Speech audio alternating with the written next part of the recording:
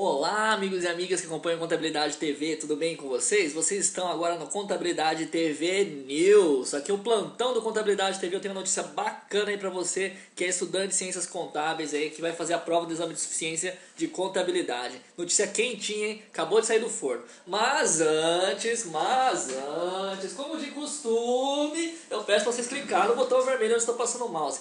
Clique aqui no botão vermelho do YouTube e inscreva-se gratuitamente no nosso canal no YouTube. Faça com mais de 46 mil inscritos que já se inscreveram no canal. O que, você está esperando? Clica aí no botão e passa para o seu amigo aí que estuda ciências contábeis com você. Passa o vídeo e compartilhe nas redes sociais. E vamos juntos tornar a Contabilidade TV o maior canal contábil do YouTube brasileiro. E canal empresarial, hein? Canal empresarial também. E curta também nossa página no Facebook, facebook.com barra contabilidade TV. Bom, pessoal, e segue aí também no Instagram, arroba contabilidade. E agora vamos ao que interessa, que é falar a grande e quente notícia que saiu aí no Contabilidade TV News. Tá na boca do povo, hein? Vamos falar aí. A verdade é o seguinte, ó. A partir de agora, o Conselho Federal de Contabilidade fez uma resolução aí onde ninguém mais precisa fazer a prova do exame de eficiência. Tá todo mundo aprovado.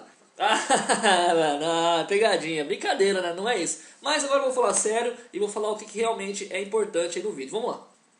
Bom, pessoal, a notícia não é tão boa como eu falei que fosse, né? Que você não precisa mais fazer exame de suficiência. Mas é uma notícia bem agradável. Porque assim, no dia 14, na quarta-feira, 14 de dezembro de 2016, o Conselho Federal de Contabilidade ele revogou aquele prazo de dois anos para o registro do bacharel em ciências contábeis. Né? Então, assim, antes você fazia a prova de exame de suficiência, você passou, beleza. Aí você tinha no máximo até dois anos para você fazer o seu registro. Caso contrário, se você passasse dos dois anos, você teria que fazer a prova tudo de novo. Né? O que era uma coisa muito injusta, uma vez que, por exemplo, você passou na prova, mas você não quer é, se registrar em dois anos, quer se registrar em três, em quatro, não interessa. Cada um tem uma necessidade, na verdade. Tem gente que não, não quer gastar o dinheiro ali para fazer o registro e por aí vai, né?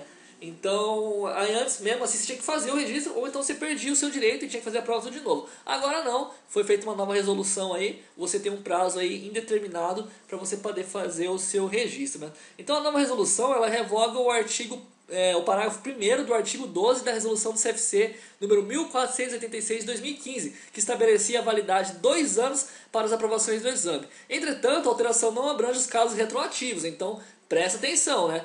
Daqui para frente. Os casos retroativos, não. Então, assim, ela não abrange os casos retroativos de profissionais que já perderam o prazo de registro antes da norma entrar em vigor, né? Então, assim, se você tinha feito a prova, né, passou os dois anos e não se registrou, aí, meu amigo, é, complicou, né? Complicou, você vai ter que fazer a prova do mesmo jeito, de novo né? Porque não abrange caso retroativo, é daqui para frente. Quem passar, né, a partir do primeiro exame de suficiência de 2017, aí tem o um prazo aí para indeterminado para poder é, fazer o seu pedido do registro no Conselho Regional de Contabilidade. Então é só daqui para frente, né? O retroativo não, né?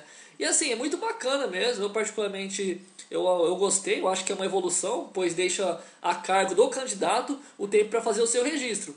E assim, o, o candidato ele se esforça tanto e estuda tanto para ser aprovado na prova de exame de ciência, mas às vezes ele não tem a condição de se registrar dentro do, do, prazo antigo, que era de dois anos. Então eu acho que a nova norma é aí mais justa. Essa é a minha opinião. Né? E você, o que, que você acha? Tá achando bacana aí? Legal? Bom, Agora vou trazer as fontes aí, né? Da onde eu encontrei isso aí, né? Primeiro, eu encontrei aí no site do CRC do Ceará, belezinha, tranquilo, e fui conferindo o próprio Diário da União aí, né? Por que não? Vamos olhar aqui né, a norma na íntegra e ver o que ela diz. Vamos estudar aqui a norma.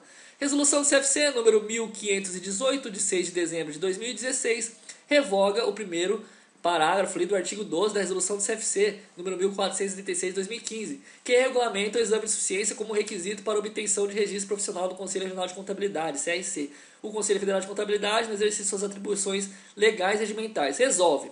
Artigo 1 fica revogado o artigo o parágrafo 1 do artigo 12 é, da resolução do CFC, número 1436 de 2015, publicada de Oficial da União, babá, babá, enfim, tá aqui a norma aí, né, para você pesquisar, né, tá tranquilo, basta você pesquisar no Google, dá um Google, um Bing aí, você vai ver que é isso aí. Belezinha? Se ainda assim ficou alguma dúvida, mande um e-mail para contabilidade TV, ao vou ter o maior prazer em responder.